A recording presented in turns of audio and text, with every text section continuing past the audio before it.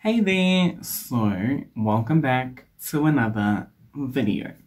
So, just disclaimer, I hope the lighting isn't too bad, and I know you can fully see that there's like that over there. It's a rough day, okay? We have load shedding, there's no ring light today. Hopefully, the lighting outside is good enough for you to see what I'm doing. So, today we are doing a look inspired by the... Hold on, it's really bothering me. Oh, that you can see here. I should just move this slide closer. Okay, period. Fixed it. So as you can see, we are doing a look today inspired by the non-binary flag, and we're going to be talking about non-binary and what it means to be non-binary, the misconceptions people have about non-binary people, and also some history about the non-binary community. So today's look is also, it's actually quite reminiscent of when I did that Liza Kondrovich look. So I did like I said, I don't know if I said it, I hope I did. I created all these looks before I'm doing them, so I did plan. So in case you're wondering why I know what it looks like before I've done it. But anyways, thank you so much for all the love and support that I've been receiving on my previous videos. I really appreciate it. I'm just so happy that I get to educate people more about what goes on in our community. So I'm very happy about that. So if you have been enjoying the videos, um, if you haven't watched any of my other videos, please go watch them. They're very nice, I promise. If you've been enjoying those videos and you have not yet, please subscribe to my channel. We're only in like the middle of Pride Month now, so there's still four more videos to come. Three? I don't know. Nope. I don't know, I think there's four or five. I don't know. But anyways, there's still more videos to come, so if you want to see more of those videos, then please subscribe to my channel. But with that being said, let's get on into the video.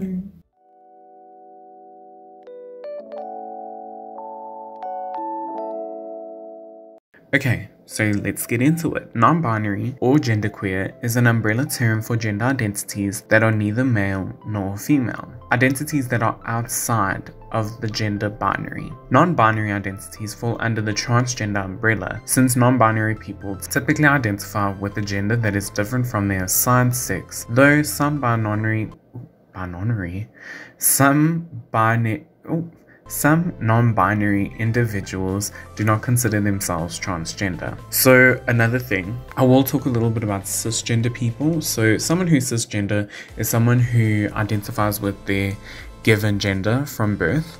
So someone who is born a male and identifies as male, or someone who's born a female and identifies as female. The term non-binary can mean different things to different people. So if somebody tells you they're non-binary, it's always important to ask what non-binary means to them. Some people who are non-binary experience their gender as both male and female, and others experience their gender as neither male nor female. Although non-binary is often regarded as a new idea, the identifier has been around for as long as civilization has. In fact, non-binary gender has been recorded as far back as 400 BC to 200 AD, when Hijras, people in India who identified as beyond male or female, were referenced in ancient Hindu texts. India is one of the many countries around the world with language and social culture that acknowledges those whose gender can't be exclusively categorized as male or female. The idea that gender is a spectrum is grounded in two widely accepted beliefs historical precedents and basic biology. From Hijras in India to, I'm not sure how to pronounce this word, but I'll put it up on the screen.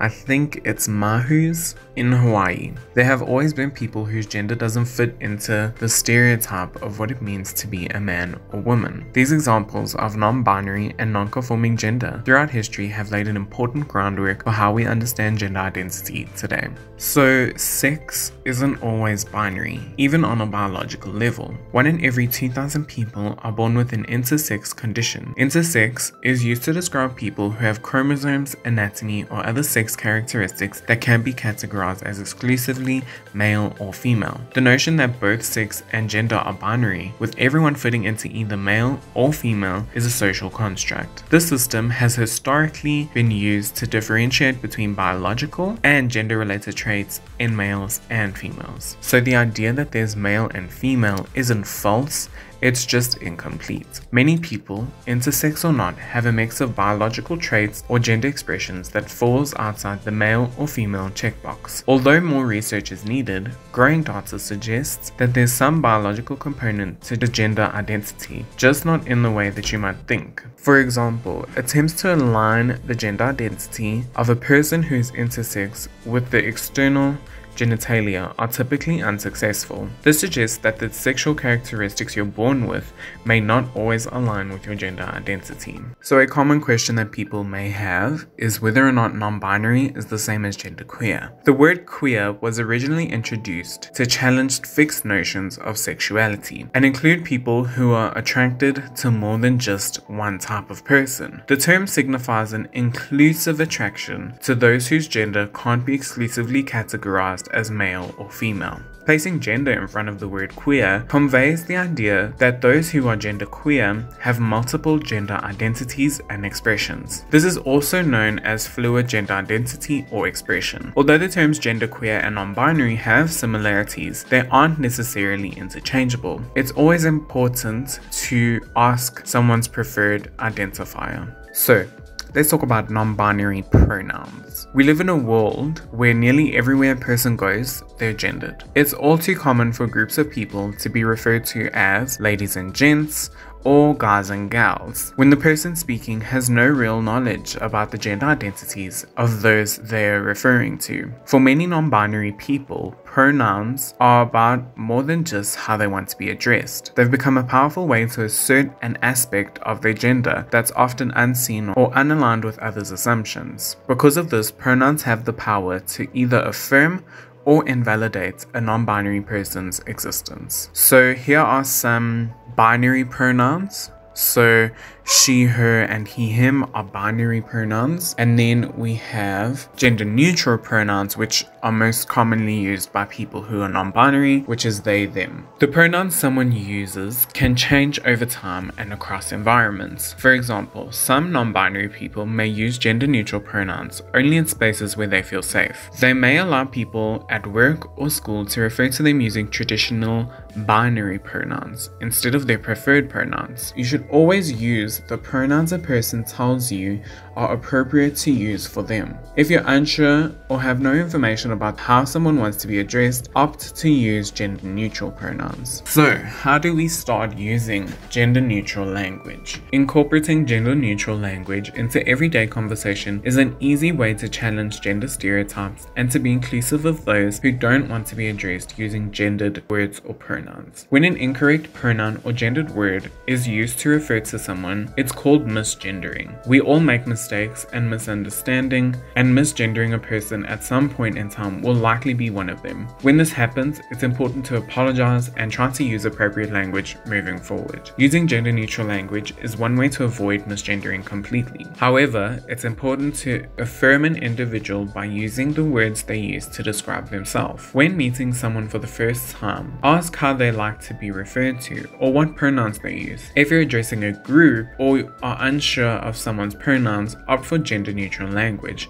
such as they or people. Instead of using boys, girls, man, woman, or men and women, use person, people, or humans. Instead of using ladies and gents, use folks. Instead of using daughter or son, use child. Instead of using sister or brother, you can use sibling. Instead of using niece or nephew, you can say nibling.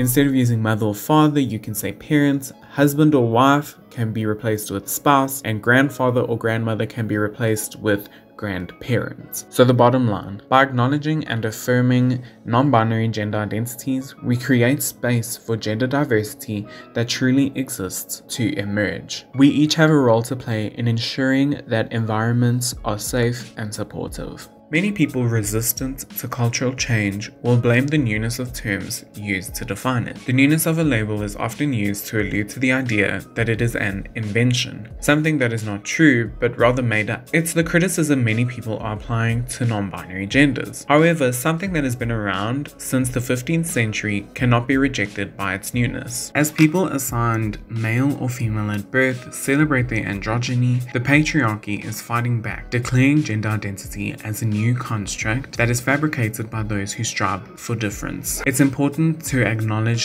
that the newness of the term non binary is not an indictment to its existence, but rather a celebration of its acknowledgement. For many people, Disney's adaptation of the myth of Hua Mulan might be the first time they consider non binary identities. While the term non binary is never used in the family friendly flick, in the title song Reflection, Mulan proclaims, I will never pass for a perfect bride or a perfect daughter. That if I were truly to be myself, I would break my family's heart. A 20 year old movie certainly doesn't indicate the newness of betraying gender roles, nor does the 1700 year old source material. Even earlier, in 14,000 BC, Hatshepsut ruled as pharaoh of ancient Egypt. The statues that survive her celebrate the strength of her rule. She is depicted in a few different ways, from a woman wearing men's clothing to a feminine face upon a man's body. Hatshepsut defied the strict gender roles of ancient Egypt, and the statues that still stand are evidence of their defiance. These examples are anecdotal and often follow a common theme. A person assigned female at birth defying the gender roles assigned to their sex to achieve something greater. However, even these examples hardly hold a candle to the rich history outlying the people of a third gender. This third gender, sometimes defined as neither a man or a woman, is present in several ancient cultures, from Hijra priests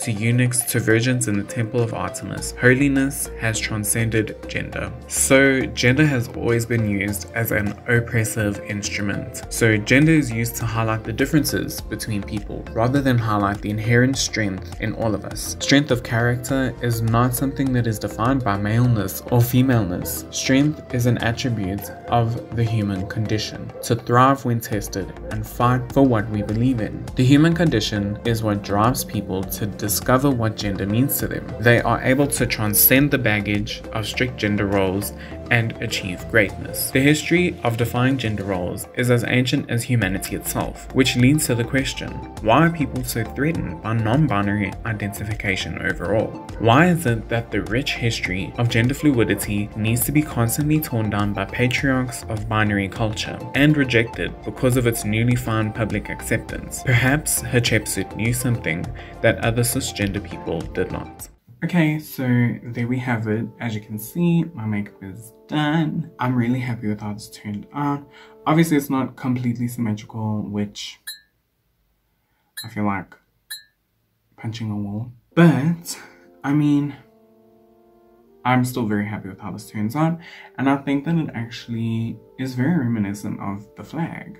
So that's what's really important. With that being said, I hope that this look is reminiscent enough of the flag to whoever wants it to be very reminiscent of the flag. And I hope this look has made the non-binary community proud. I hope the information given in this video has made the non-binary community proud. And thank you so much for watching this video. I really appreciate it. I hope you guys have a great morning or evening or night. And I can't wait to see you next time. Bye. Bye. Bye.